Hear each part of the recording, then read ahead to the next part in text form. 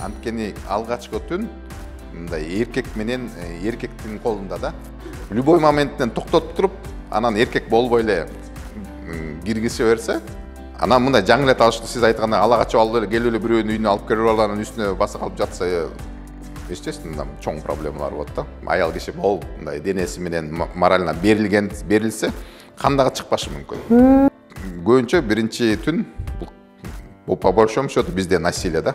Жанагы жыныстык мүчөсүн киргизе баштаганда уже башка картина болот бирок алгачкы түн бул кыздардын проблемасын айтып атпайсызбы эркектерде дагы бар проблема ал кандай болот бул сексуальный жашоо деле ошондой көрбөйт андан ары көрбөйт да анан шымды шыпырайын десе эле бүтүп калат дегендейчи алгачкы түндөн жаралган балдар дагы ушундай психологиялык жактан жабыркалып болуш керек э бир түндө ошондой проблема болгон болот да. Кээ бирөө атайын сындырышат шүмшүк аялдар дегенчи даже гомосексуализм баладан да.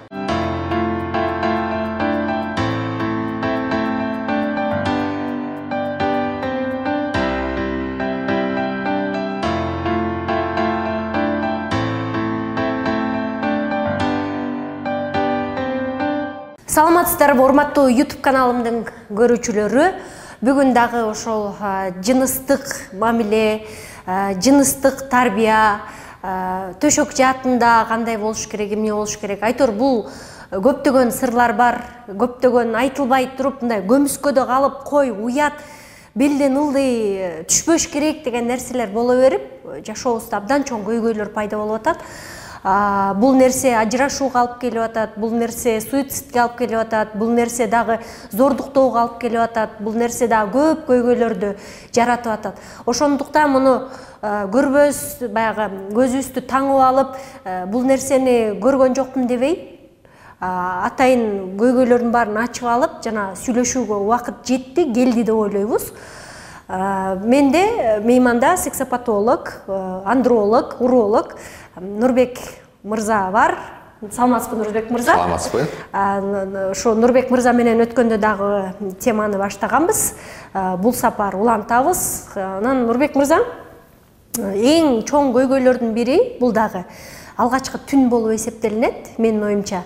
Анткени мындай айымдар менен сүйлөшө келсең ошол алгачкы түндөн Э, чочуп калгандар көп алгачкы түнү зордукталган сыяктуу өтүп анан э, баягы э, коркуп калгандар сууп калгандар абдан көп да.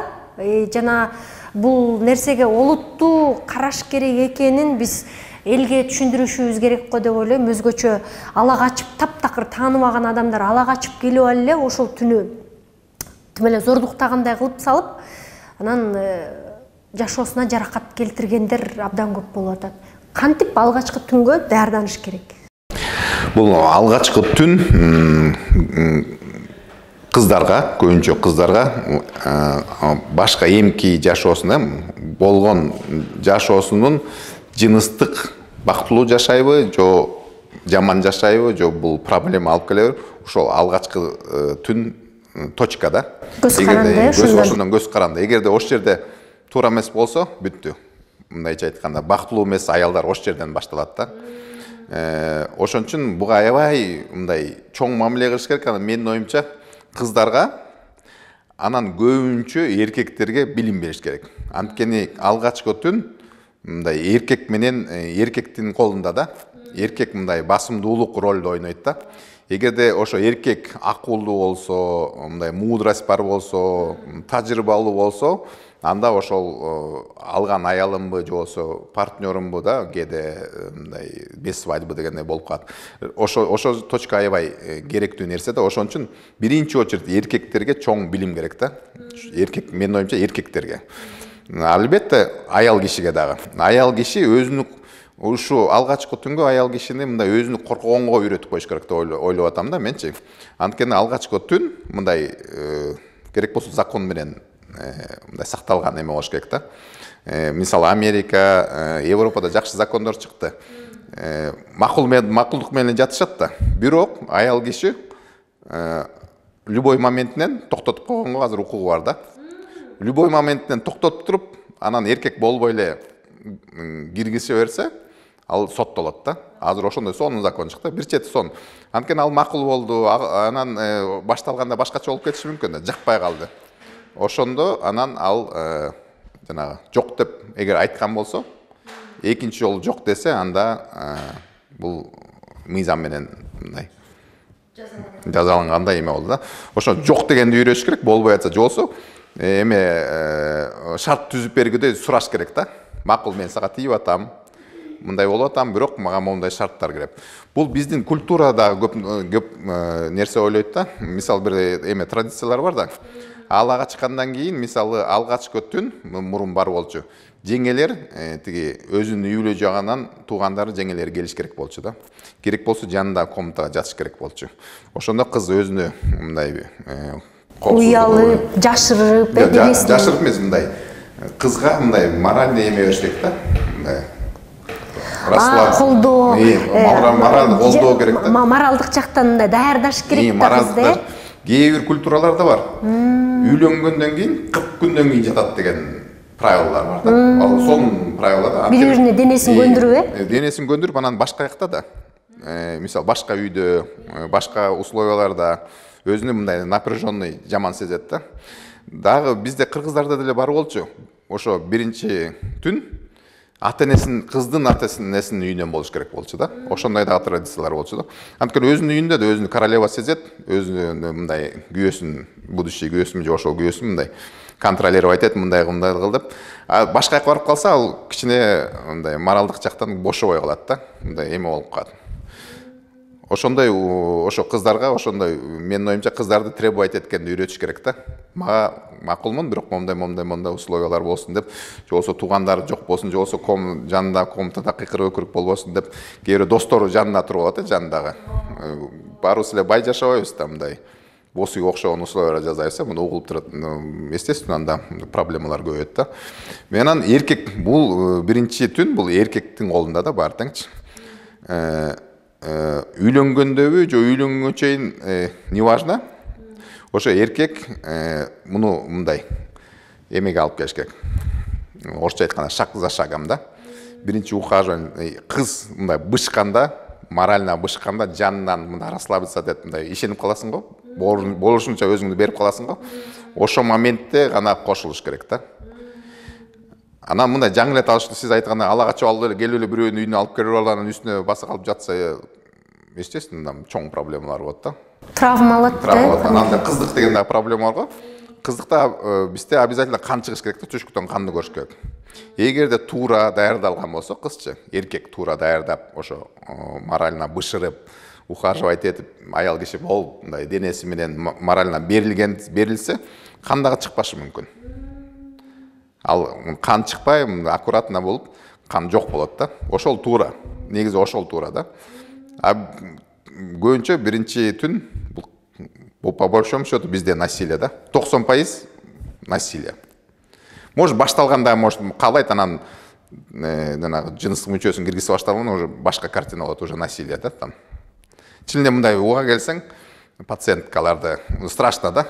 Бирөөнү зордуктап кеткен бирөөнү билбей калган бирөө мас болуп болуп калган бирөө ушинтип ошондой ошондой ошондой да. Анан моральный травма кийинки жыныстык жашоого жана фригидный деп коет э, Муздак аялдар. муздак аялдар болот же болбосо көбүнчө аялдар дагы мындай да психологиясы. Эркектер үчүн жыныстык жашоону жашашат да кырк пайыздай аялдар жыныстык жашоону каалабайт да. Ошо биринчи түн проблемный болгон да анткенчи анан айла жок күйөөгө тийди да. Алар сонун кийиниши мүмкүн мындай өзүнө карашы мүмкүн сексуально аябай тамашалап сүйлөшүшү мүмкүн бирок ошол процесс өзү жыныстык процесс. Аларга жакпайт анан айла жок күйөөлөрүнө эме күйөөлөрүнүн супружеский долгто бекер айткан бул карыз да бериш керек да анан кыйналып өмүр бою жашашат да бул чоң көйгөй. кандай тозокко айланат чоң көйгөй ошо биринчи түн аябай чоң ролду ойнойт да. Биринчи оргазм биринчи түн чоң ролду ойнойт дальнейший жашоого.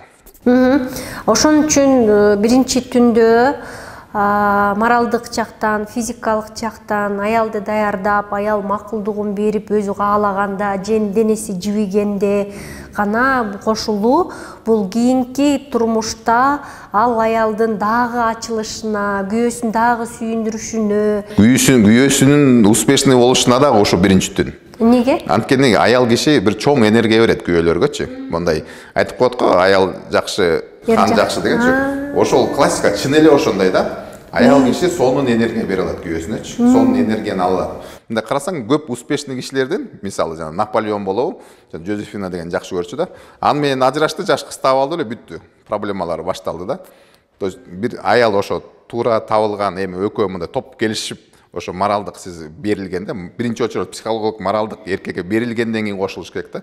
Ошондо анан экөөнүн тең бири биринин энергия обмен болуп турат да. Аял киши каалабай жаман энергияны берип ал билбейт может. Аял дагы билбейт эркек дагы билбейт. Вроде күлүп жүрүшөт мындай мындай карасаң сонун семья ичинде мындай подсознательный аябай чоң проблема бар да чоң көйгөй бар. Айла жок жашашат да. Бирок аны өзү дагы ошо аял киши дагы сезбеши мүмкүн күйөөсү дагы сезбеши мүмкүн. Анан күйөөсү дагы бул энергия чоң нерсе да мындай социальный жашоодо дагы коомдо дагы неуспешный болот да мындайча айтканда ошон үчүн эркектердин эле мындай интереси да эркектердин эле заинтересованности болуш керек да булчу чтоб аял кишисин өзүнүн аялын ошондой жакшы жолго алып келгендичи эркектер биринчи түндө зордуктап коюп анан аялдар муздап калганда менин аялым мындай тигиндей деп анан башка жактан издеп баштайт турбайбы аял алар өмүрү таппайт ошону жүрө беришет да ошон үчүн аялды алгачкы түндө көндүрүп алып анан алгачкы түн абдан абдан чоң. Может эми э, биринчи түн эме деле болбошу мүмкүн да эми свадьба күнүбү кандай? Үйлөнгөн күнү эртерээк болуп калышы мүмкүн. Ошо эртеси болобу эме болобу бул кыздар өзү өзүн өзү ошол жерден сыйлаш керек да ошол жерден бышып ошо бышырганды үйрөтүш керек да ошо кыз каалаганда өзүң каалаганда гана кошул а тиги э, алдаганда эмес же болбосо тиги эркегим кетип калат же болбосо таарынат деп эле кээ бирөө мындай жатып бере калат да мындайча айтканда. Өзү эгоист ушул жерден эгоист болуш керек да кызчы чоң эгоист болуш керек жок мен бышышым керек. Керек болсо мен парижден болушум керек деп ушул өзүнө жаккандай условияларды коюш керек да. Анткени эң баалуу жери дагы да кыздардынчы ошол жактан ломаться кетсе болот дегендей жакшы. Негизи ушул мурун жеңелер айтып жеңелери бөлүшүп э кыздын жеңелери мисалы үчүн даярдап кызыке мындай болот үйрөтүп дегендей.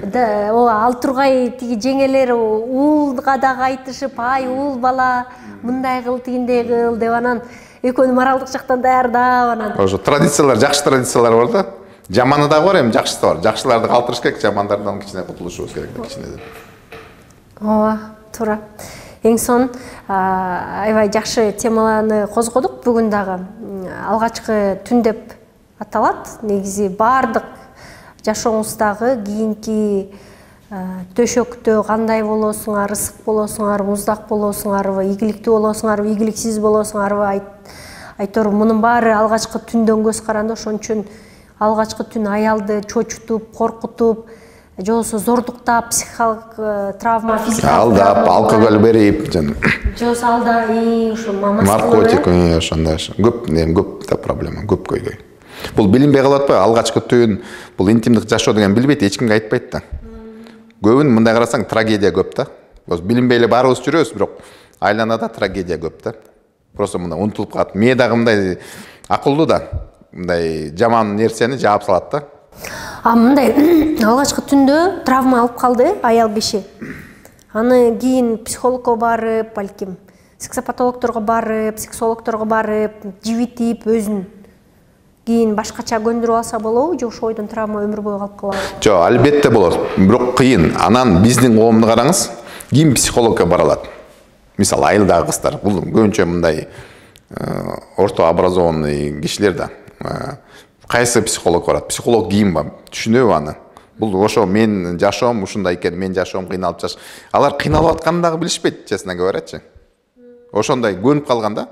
Мисалы бир кайсы кино комната деген бир кино көрдүм да мындай психологический кино экен кичинекей бала бир ошо маньяк бир кызды алып келип алып анан ошо маньяктан балалуу болуп анан бир эки квадратный метр үйдө жашайт да анан сегиз жашына чейин ошол жерден чоңоет эки ком- комнатный квадратный метр деп ойлорбуз сегиз жашка чейин чоңоет анан бирдеме болуп качып анан полицейскийлер бошотуп анан бала мындай чоң жашоо нормальный жашоого келгенде бактысыз да эмнеге мындай психологический проблемалар башталат да. Эмнеге анткени сагынат ошо эки квадратный метр жашоону сагынат да. Мындай да бул бала да э, түрмөдө жашап төрөлгөн эле балдар болуп атат го. Алар ошо түрмөдөгү жашоону нормалдуу көрүп калат да жакшы көрүп калат да. Бул сексуальный жашоо деле ошондой. Көрбөйт андан ары көрбөйт да. Кийин кийин көрөт ошо чоңоюп анан атайын ошону психологдор кеңеш берет да. Ошо эки комнатага эки квадратный метрге алып баргыла депчи. Анан алып барат анан көрөт а уже бияктан өсүп деп анан мындай мээси бошоп нормально жашап кетет да алгачкы түндөн жаралган балдар дагы ушундай психологиялык жактан жабыркалып төрөлөт болуш керек э? Э бул туура эмес болсо по большому счету насилие да туурабы. Күйөөгө тийди жана эметти эми каалабаса дагы али насилие. Бул ошо бала ошо сексуалдык жактан болобу. Башка жактан болобу ошо энесинин курсагынын кезинде чоң эмелер болот да кирпичиктер. Киши куралат да. Ошондо туура эмес анткени ойлоно берет күйөөсүн жактырбайт. Анан күйөөсү ал бир эле зордук болгон жок да кайра кайра анын эртеси болобу күндө го канча жашап атса. Көңгүчөктү бышкычакты кээ бирөө он алты жашта тиет кээ бирөө даже он беш жашта тийип атат он сегиз бул деген өмүр бою зордук да. Анан бир отуз отуз беш жашта уже беш алты баласы болуп калганда түшүнөт. Туура эмес жашап атканын бирок беш алты баласы бар уже кете албайт үйдө отура берген иштей албайт. Мисалы ажырашып кетсе дагы болот да. Түшүнөт да мына бул жашоо болбой калып туруп анан ажырашып кетип мисалы отуз беш жашка чейин үйүндө отурду билими жок. Кантип ошо алты баласын багат анан айла жок өмүр бою күйөөсүнүн көзүн карап жатып калышат жашап калышат. Атасын жек көргөндө баласын автоматтык түрдө жек көрөт да албетте. Уруп согуп кагып чоңойгон. Чоңойгон эми мындай да алар дагы негизи эми менин аялым дагы мени урушуп калат. Менин настроением түшсө балдарың настроениеси түшөт давай менин настроением түшүрбө депчи. Ошондой да эне эне деген чоң энергия да токсон пайыз убакытты эми болбой калды дегенде бир эми кичинекей кезинде. Бул эне менен өткөзөт да. Анан энеси бактылуу эмес болсо ошону сезет да балачы. Ага дагы ошо передаваться этет да? Ошо настроение. Каагын бүркөп мындай байкуш болуп жүргөн алар үйрөнөт ошону дагычы ошо адатты дагы үйрөнөт анан мындай күлбөгөн настроениеси жок мындай депрессивный кишилер бар болуп калып ошо ошондой семьядан чыккандар да?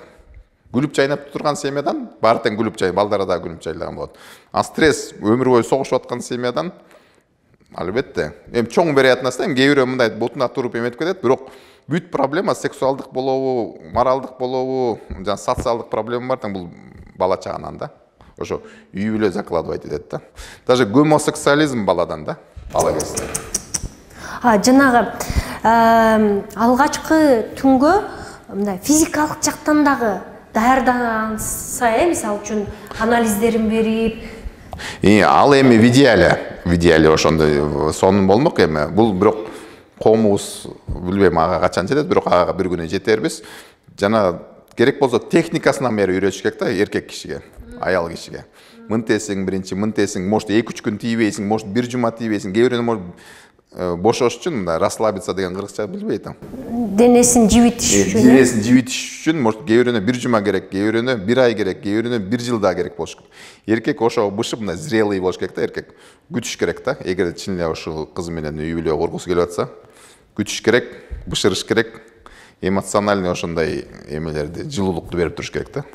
Андай эркектер бар э, бирок азтай аябай мен тааныйм ошо. Мен аялым жибей атат дагы келишет бизгечи күт дейсиң. Күтсөң бактылуу жашайсың. Күтпөсөң болушу мүмкүн. Бирок бул проблема болот деп андайлар дагы бар да.